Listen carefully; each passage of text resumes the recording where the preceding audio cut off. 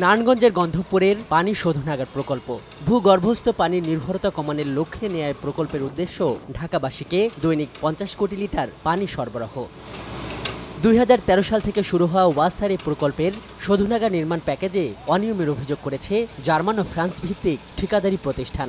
এ প্যাকেজের প্রতিদ্বন্দ্বিতাকারী ঠিকাদারি প্রতিষ্ঠান ভাটেক ওয়েবাগ টেকনিকাস রি ইউনিডাসের এশিয়া বিষয়ক আঞ্চলিক ব্যবস্থাপক সৌমিত্র চন্দ্র বলছেন, প্রাতিষ্ঠানিক বরাদ্দের চেয়ে কমে দরপত্র দিলেও অসৎ উদ্দেশ্যে বাদ দেওয়া হয় তাদের। উল্টো গ্রহণ করা হয় প্রায় এক হাজার কোটি টাকা বেশি দরপত্র দেয়া প্রতিষ্ঠান ডিগ্রিমন্ট টিভিকে।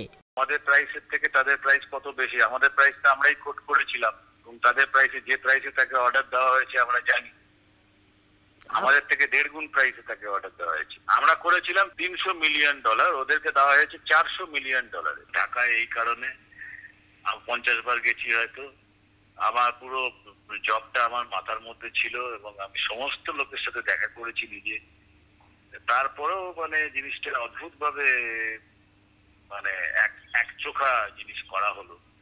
সেটা বুঝতেই পারলাম যে এখানে অন্য কোনো গেম প্লে করছে। বিদেশি প্রতিষ্ঠানটির এই কর্মকর্তা বলছিলেন, দুই হাজার পনেরো সালের মার্চে প্রকল্পের জন্য উন্মুক্ত কারিগরি প্রস্তাব আহ্বান করলে ছয়টি চীনা, একটি স্পেন ভিত্তিক, একটি ফ্রান্স ও জার্মানি ভিত্তিক কোম্পানি প্রস্তাবনা জমা দেয়। ওই বছরের সেপ্টেম্বরে প্রস্তাবনা মূল্যায়নের ভিত্তিতে ডিগ্রিমন্ট ও ভাটেক ওয়াবাগ উত্তীর্ণ হয়। এ দুটি কোম্পানিকে চূড়ান্ত প্রস্তাবনা ও দরপত্র জমা দেওয়ার আহ্বান জানানো হয়। পরের বছরের ফেব্রুয়ারিতে দরপত্র জমা দেয় ভাটেক। কিন্তু এরও নয় মাস পর জানানো হয় তাদের দরপত্র খোলা হবে না। কারণ হিসেবে দেখানো হয় তাদের তরফ থেকে যথেষ্ট সাড়া মেলেনি। আমাদের না জানিয়ে তারা তলে তলে ভেতরে ভেতরে এটা বার করে যে আমাদেরকে রিজেক্ট করে তারা নোটশিট পাস করালো নিজেদের মধ্যে যে শুধুমাত্র একটারই প্রাইস খোলা হোক। এটা তো অন্যায় করা হয়েছে প্রচণ্ড ভাবে এর জন্যই তো আমরা প্রায় এক বছর এই জিনিসটা নিয়ে লড়েছি। জনগণের কিংবা সরকারের কোনো ক্ষতি আছে? হ্যাঁ ভীষণভাবে ক্ষতি। ওই জন্য যে অনেক বেশি পয়সায় অনেক বেশি প্রাইসে তাদেরকে অর্ডারটা দেওয়া হয়েছে।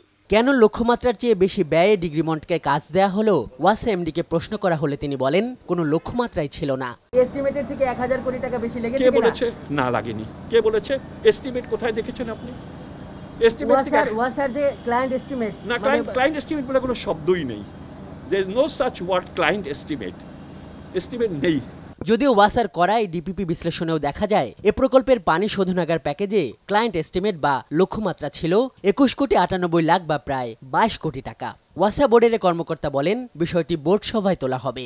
অনেক দিন দায়িত্ব পালন করলে যেমন অভিজ্ঞতা সঞ্চার হয় কাজের গতিও যেমন বাড়ে আর এই অভিজ্ঞতা কাজের গতির ভেতর দিয়ে যদি কোনো দুঃসংবাদ শুনি যে তার হাত ভালো না, সে এই জিনিসটা অন্যভাবে দিয়েছে, এইসব লেনদেন হয়েছে এসব কথা শুনলে আমাদের নিজেদের কাছে তো খারাপ লাগে।